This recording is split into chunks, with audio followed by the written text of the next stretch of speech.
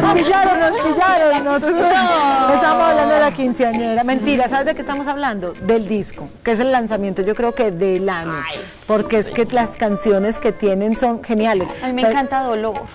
Sí. Me parece tan linda. Esa sí, es Vení, yo me hago la boba. ¿Esa es cómo es que dice? Espere, ah, ¿qué- ¿cómo es que dice? Ajá. Mensaje subliminal. Pues nos pillaron. Pues dice Así. Quiero llorar mis ojos, fundirme de tanto dolor.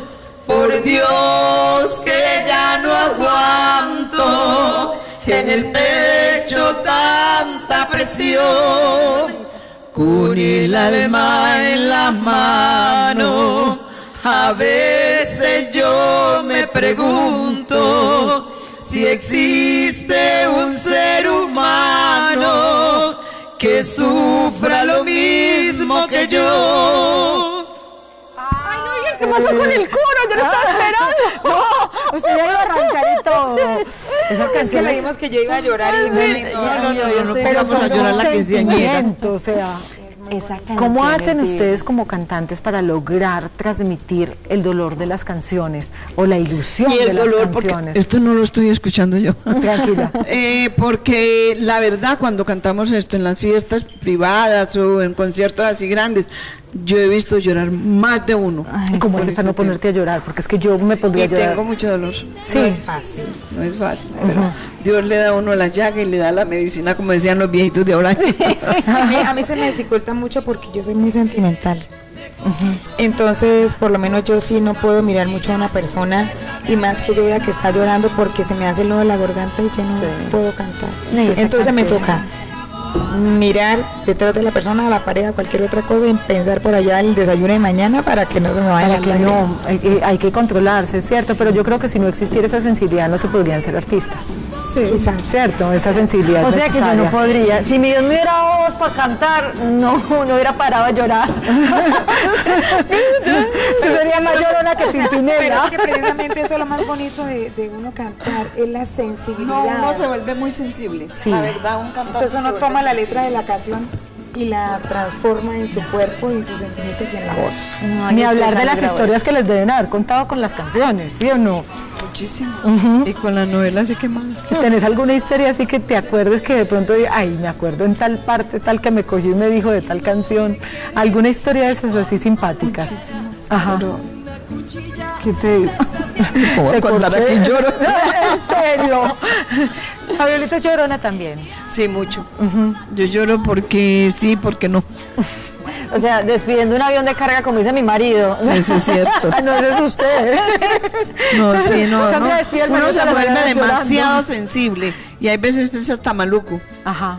Porque uno pues se pone a llorar por cualquier cosa. Se atrofia, pues, se sí, atrofia. Ay, maluco. no. Sí, una cosa es mantener el lagrimal limpiecito, Sí, pero otra sí, cosa es mantenerlo ya abierto, cuando pues. se mantiene abierto ya es tampoco. muy horrible. ¿Qué viene para las hermanitas calle?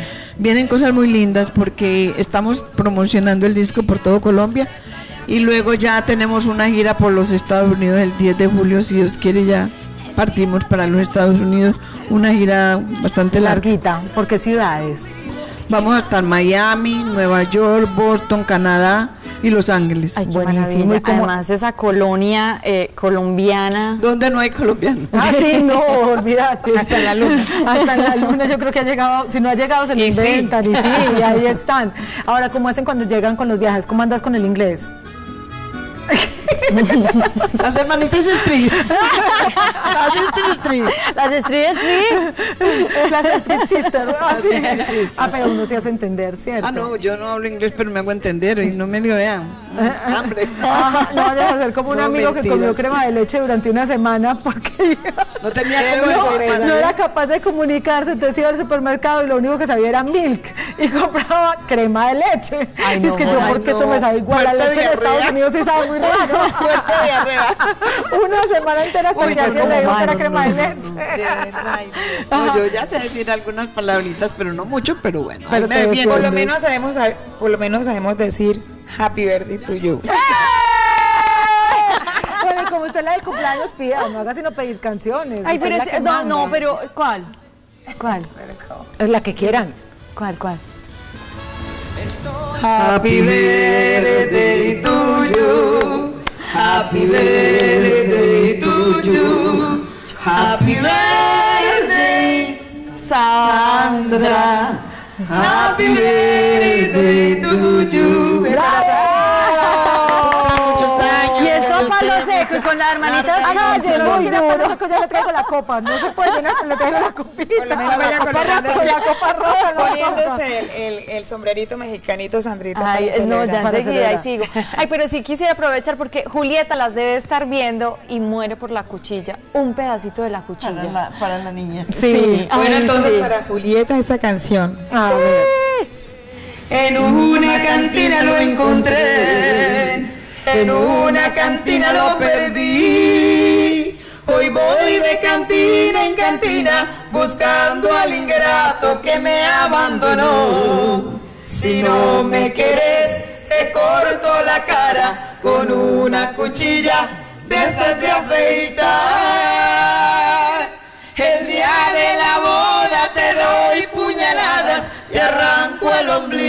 Y mato a tu mamá. Esta sí es la más romántica de usted, la más romántica. Es que me llega al alma esa romántica. la canción, ¿sí o no? Pero no, es que son de esas canciones que uno jamás se olvida porque son letras completamente diferentes. Además que me imagino que en la época en la que salió era completamente revolucionario, porque lo que se hablaba era canciones de amor, no de desamor y menos de esto. Por eso a nosotros nos dio tanta lidia de entrar a- al medio, porque pues las canciones, qué bueno que sonó, que la, esa música no era muy bien vista, porque pues era un- una música guasca, que eso, pero, pero si esto es mexicano. Claro. Y no sé por qué la gente la rechazaba, pero a lo último nosotros con esa paciencia y con esa voluntad y con esa fe de Dios, mira dónde estamos. Estos fueron el reggaetón de la época, revolucionario.